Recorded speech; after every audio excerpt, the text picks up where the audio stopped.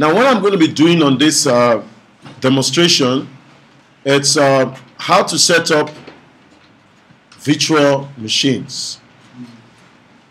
I want you to pay attention to every detail of what I'm going to be doing now because it might just be your ticket for tomorrow test. Now, on your screen, you don't actually have a virtual machine yet, blank. Is that not correct? Okay. Now, let's say, for example, you were asked to set up two computer systems, Windows XP and Windows 7. Now, we all know that uh, one of the unique ways about Windows 7 was that Windows 7 used IDE drives. Is that not correct? Uh, Windows XP used IDE drives, right? And Windows 7 were unique with SATA. Is that not correct? So you've been asked to set up a Windows 7 computer, for example, and you have been instructed to make sure these computers have these following configurations. And those configurations I'm going to go with you right now. Though you may be asked different type of configuration at any given time, but you want to be you want to make sure that you know how to get this configuration right. Are we together? So let's say our first task uh, the company asked us to do was to set up a Windows XP computer, which probably we need to buy at the shop, get a desktop, get the, the, the ATX casing, the power supply, the motherboard, the RAM, the keyboard, and do all the necessary hardware uh, purchasing, couple the computers together, or we were specifically asked to get this uh, a peculiar spec of the uh, of that particular system. Now, how do you go about doing that? Let's say, for example, we're asked to create a Windows XP virtual machine because a virtual machine is a virtual computer. Are we together? So the first step you do is to come here and click on the new button. So I want you to click on the new button. A wizard comes up, right? It says name and operating what? System. Now, normally every computer usually have a name, right?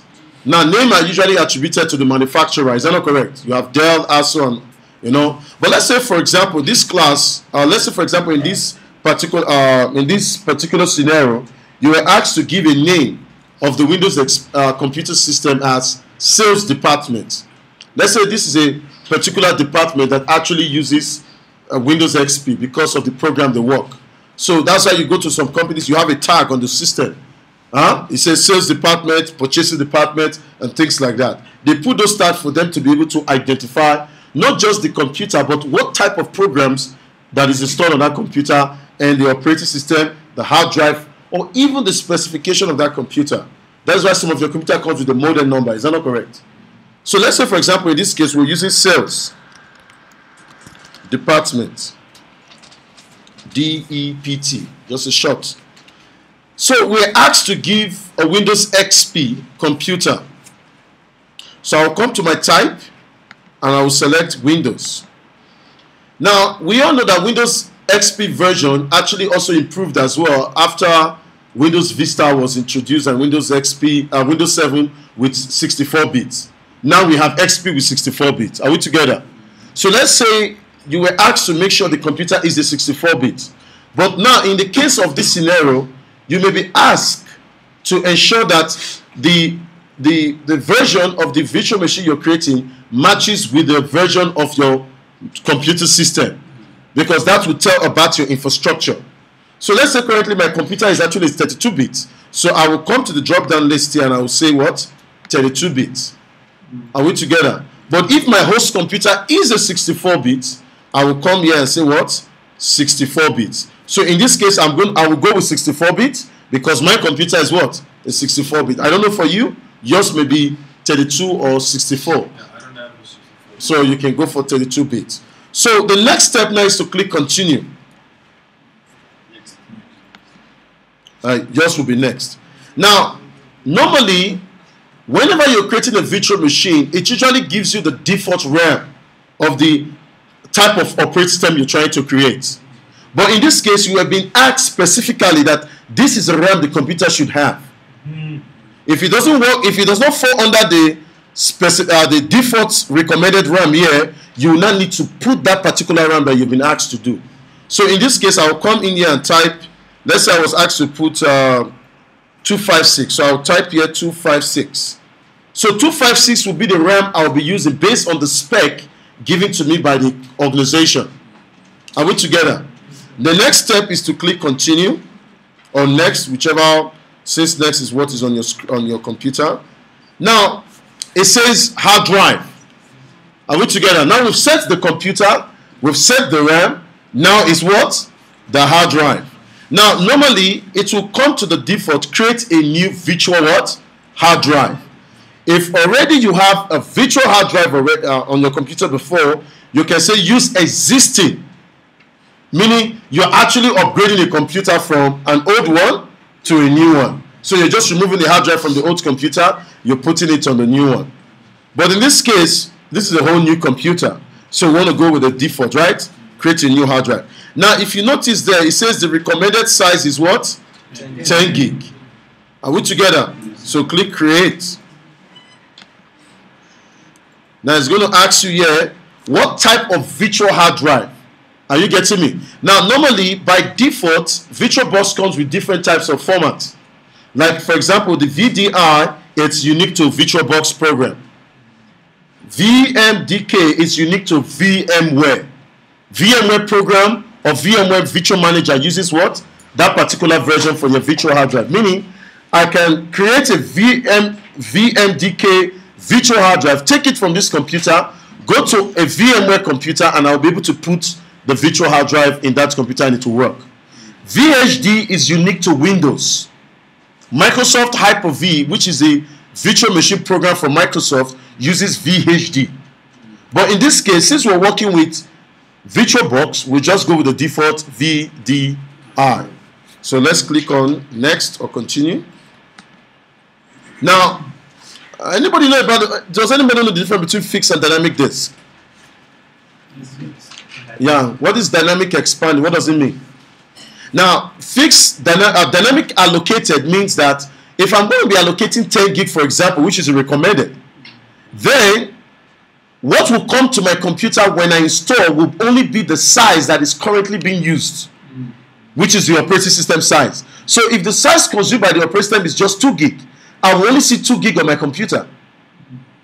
As I copy, it will expand to 3. As I cop as I save more content, install more content, it keeps expanding. That is, that is which, which option? That's what's dynamically what allocated. Now, if you say fixed, it gives you everything. That is why it makes it makes the size more afford. It, it, it opens the door for unnecessary components to be stored on your computer instead of bit by bit by bit. So when you store, you expand. When you store, you expand. When you store, you expand. But with fix, it gives you the full allocation of the entire size, which is 10 gig. Are you getting me? So we'll take fixed. So let's take fixed. If you also read it here, it also say exactly the same thing as well. So we'll click on fixed and we'll click continue. So um, naturally, the computer will want you to give a name to the virtual hard drive as well and the location where you want to store it. Now, normally VirtualBox have its default location, which I've, I've showed you guys from the yesterday. Where if you go to that URL, the folder where your computer, your name, VirtualBox, that's where all the virtual machine we create will be stored. But in this case, I'm going to leave the default. I'm not going to change the location. Now, did you see that it says 10 gig? Did you see that? So what I'm going to be doing now, maybe I've been asked to create a specific size. Let's say I was asked to create 5 gig, for example, or 2 gig or 3 gig. So let's say I was asked to create 3 gig. So I'll come in here and put 3 gig. Are we together? I'm, I'm reducing the gig because of time. Huh? Because if we have to create 10 gig or 5 gig, it will, quite, it will take a longer time. So I'm just using that. So now the next step is to what? Create. The computer will be created in less than few seconds. Yeah, because with a smaller size, it will make it will go much faster. So that I just demonstrate how this thing works. Yeah, go ahead. You maybe show us later on how to delete the virtual machine over. Yeah, I can I can show you that later on. I'll show you that. Don't worry. Before we leave, we'll delete it. Before we leave, we're gonna delete.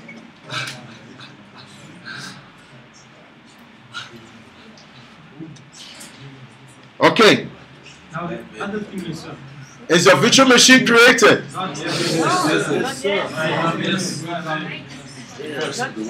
I told you guys when we start the virtual machine practicals, we will know who is having a computer and who is having a machine.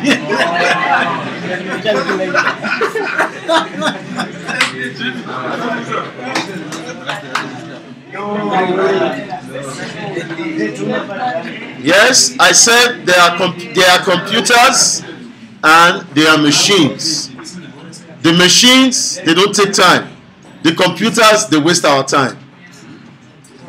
But let's be patient. Okay, are we done? Who's still waiting? Nobody. You're still waiting. It's three gig, huh? Sure, you selected three gig, huh? So that's because we're just using it for demonstration. Is it done?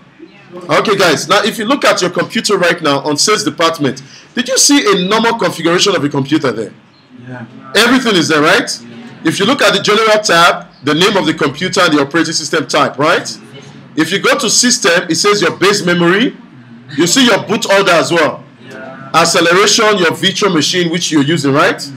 If you go to your video memory, it says 6 megabytes, 16 megabytes. Okay, the rest of them are disabled. You can leave that. Those are just additional features. Now, did you see the, the drive it took? What did it what did it take? An IDE instead of what? SATA. Instead of a SATA. It took an IDE instead of a SATA because we were creating a Windows XP. If we try to create Windows 7, it's going to take a SATA. Are we together? Basically, together. you take something that it works with. Works That works with it. It- it- remember, it's an emulation program. It tries to emulate the physical. So that's your audio as well. Did you see your network adapters as well? It also have a network adapter. Yeah. But now we have just set up the machine, but we you were given a requirement. You were asked to install three network adapters. And these three network adapters should be able to communicate outside. One of them should only be able to communicate within the virtual machine environment, while two network adapters should be able to communicate to the external network. That's number one. Number two, take notes. Number one, that's number one. Number two, you were asked to configure the boot order. That the network should be the first boot. Network the first boot. The DVD should be the second boot. The hard drive should be the third boot. These are the only boot devices you should have. Number four, you were asked to add additional hard drives. Like they were asked to add a SATA and IDE. And they also mentioned that make sure one of the SATA drive is a solid state drive as well. After that, you were also asked to do other configurations, which I'm going to explain now. So let's say let's go with the first option. The first option is to configure the network adapters. Is that not correct? So what you need to do, you click on the virtual machine, which is sales department. Mm-hmm. Did you see settings? Click on settings. Did you see set the sales department on the top? Mm. And it says general as the first option. Now basic is the name, Microsoft everything. So they asked us to set up the network. So can we go to the network tab? How many network is activated? Four. No? One. One. If you check number two, it's not enabled. Number three, it's not enabled. Number four, it's not enabled. But we have four slots. Meaning we have a primary network adapter, which was the one we installed with by default, and we have three expansion slots Yes. that we can add on the computer for expanding our network adapters. Is it making sense? But follow me. The question was three network adapters needs to be available on the computer. One, two of them should be able to connect to the external network, meaning the way the host computer connects to the wireless router, your virtual machine, those two network adapters should be able to connect to those external computer. But one of the network adapters should not be able to go out. It should only be able to communicate within the virtual machines on the virtual manager environment or the virtual environment. Meaning it should not go out. It should only communicate with other fellow virtual machines within the environment. Yes. Just, uh, to see if I understand. Um, so the two network adapters, yeah, it must run. What was it? The one network adapter must run to the external, meaning. Was it, is it Two, two, Two two of the network adapters should be able to go out, Yeah. and one of them should only be able to communicate within the Okay. virtual environment. So those going to those going out is it uh, like for an example it connects when I switch on my my laptop. Does it connect? Does the virtual machines network connect automatically? No, you have to on the virtual. You have to open the virtual machine program, start your virtual machine. When it has boot up the operating system, the network adapters are available.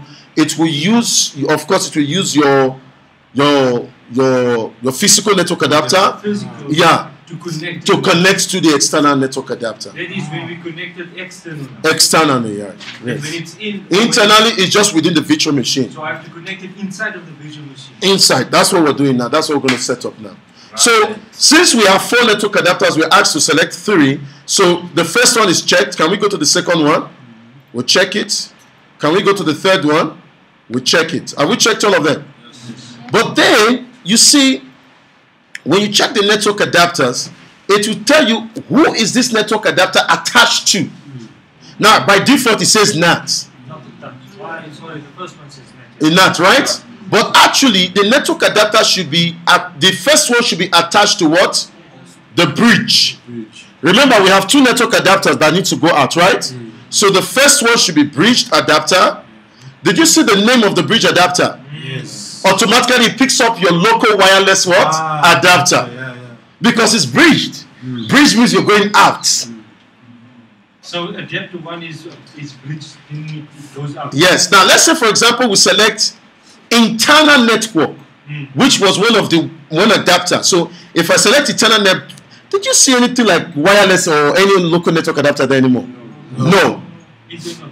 Internal because it only works internal, meaning it will only work within the virtual machine environment. Your host does not know what he's doing. He does not know what your host is doing. Yes. But if you put the bridge adapter, your hosts and the virtual machine will be able to communicate with one another is Ah. when it's bridge adapter, which we were asked to make sure two of them are exactly what? Like that. So we'll select the first one, we go to the second one, So the, so the second one must be the bridge, and make sure your wireless adapter is select selected.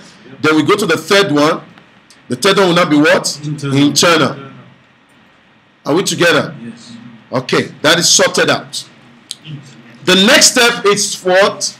The storage. Storage. We're asked to add another additional IDE and a SATA drive, but we should make sure that the SATA drive is a solid state. Okay, so so actually we must only have three adapters. So adapter four is not available. That's why it's unchecked.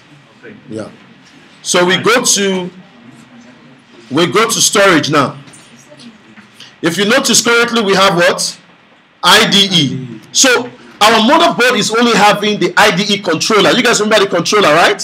So we need to add a SATA controller if we have to add a SATA hard drive. Are we together? So how do you add a controller? Now if you come to the bottom here, did you see here it says attachment? Yes. Did you see here it says um, if you bring your mouse it says controller? Did you see here it says uh, remove controller? Yes. If you come here it says add what? New attachment. Add DVD or CD disc. If you come here it say add what? A hard disk. That is because we are currently attached to what? IDE. So but in this case we need to add a new what? Controller. So let's come down to the box here and we say add a new attachment. Remember ATA, Yeah, yeah, yeah. advanced Technology. Technology. attachment. So that's what we're adding. So we click on add now. Sorry, sorry, uh, not the IDE. Come to this side. This this one, yeah, controller. The second one, huh? Did you see SATA? Yes. Okay, click on SATA. Sharp. Hmm. Okay, we were asked to add a SATA hard drive, right? Hmm. So let's go now. It was not a CD, it was a hard drive, which is the second one. So we click on hard drive. Of course, it's not an existing, we s- to create what? A new one. So click a new disk. We say VDI. We click continue. we say fixed, and we click continue or next. Here we type 2 gig. 2 gig. Then we come here and give it a name. You see, by default, it says new virtual disk 1. Yeah. You can also come here and give it your own name. Are you getting me? That's why I say please type the name of the virtual hard drive file into the box below. So we can come here and says SATA 1. Just like the way I've written it. SATA 1. Huh? SATA 1. Have you written it? So we click on create. SATA 1. Yes, SATA on the finding. name. SATA 1. So I can create it. Then you create.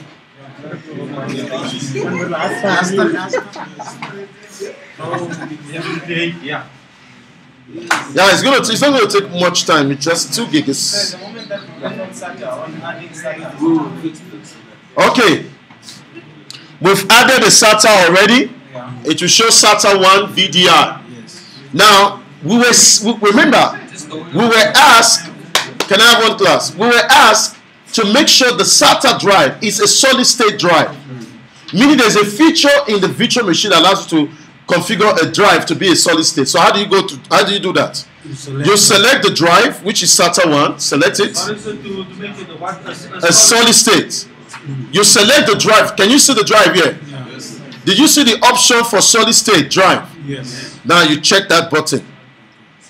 Now you notice that it says the disk is on SATA port 0, yes, meaning you only have one SATA drive. If you add another SATA, you see how many you can take. Up to how many? 20 what? 29. 20 what? 9. Yes. 29. That's the list of drives you can add on the SATA connector. Okay, if you come to the IDE drive, if you select the IDE drive, you can also make it solid state as well. But we don't want to do that. We are also asked to add another IDE. So we, whenever you want to add a drive to a particular controller, you must select the controller itself, which is IDE. If you were asked to add a SCSI, you can also come to the controller. Did you see SCSI there? Yes. Then you add the SCSI controller. Then you add the drive the SCSI. Just like we have the SCSI connector as well, that also uses a terminator and a SCSI ID. We are trying to make something that is physically seen to be virtually implemented. That is what they call virtual machine. All these things we're doing, it's like a numeric computer. By the time we load our operating system, which is the part two of our of this book we're doing, then we'll start doing the installation. That is the other aspect I also talk about.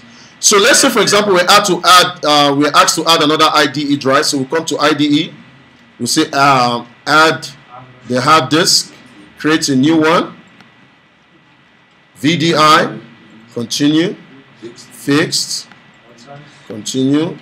We'll call it an IDE one, and we call it one gig. Only one. Yes, just one. We'll click create. Yeah, that's just few seconds for those using machines. That's it. So I have the sales department VDI, which is a primary disk. I have another disk IDE1, which is a one gig. You can see there, one gig, huh? It's a fixed storage. So guys, that is how to configure the storage on the virtual machine. Add, and you can also remove as well. You can just select it. You see the minus sign here. Yeah, yeah. You can also remove it and attach a new one if it was a mistake. Okay, so by deleting, if I have information saved on that hard, hard Everything is gone. Everything is gone. Yeah. But this this one does not delete it. This only just removes the drive from the computer. But on your file, your file on the folder on your computer system, that virtual machine is still there. The virtual hard drive is still there. Ah, okay. So you can connect it later on. You can say eh, It's just like removing a hard drive from a computer, putting a new one, then you back it up, then you put the other drive, then you copy from that to the new one. So the next step I want to do is the boot. Can we go to system? Did you see the boot there? Now we were asked to make sure that the network is the first boot, followed by what? The CD-ROM or DVD, and followed by what? the hard drive. These are the only three boot devices. So because of best practice, I want to make sure I, I uh, uncheck everything. Then I start with the, the, the network. You see the button on the side. There's a button on the side that says move. Yep, yep. So move, select the network and you move. One, two, three. So let's select click. Yeah, you just select the button and it pushes it up. Um, yeah. Then the next one is the CD-ROM, and the last one is a hard drive. So you move. and then So you have them on the same sequence. we have to pick them. Then you now tick network, CD-ROM, and hard drive. You go to systems. Then you go to the boot. That is exactly what I'm doing. Then where are you lost? hmm So what you say? I want to see which one. Just Make sure you don't check unnecessary things. Check only what that is asked is asked of you. That's it, guys. And we have basically just configured the computer to be boot sequence, network, CD-ROM, hard drive. We've gone to the hard uh, storage. We've ensured that we have two IDE drives based on the spec, a SATA drive that is also a solid state. Added a controller called the SATA. Add the disk and all the requirements and you click OK. When you come in here, you see everything has changed as well. The adapter has changed, the storage has changed, your boot sequence has also changed. That is all, guys.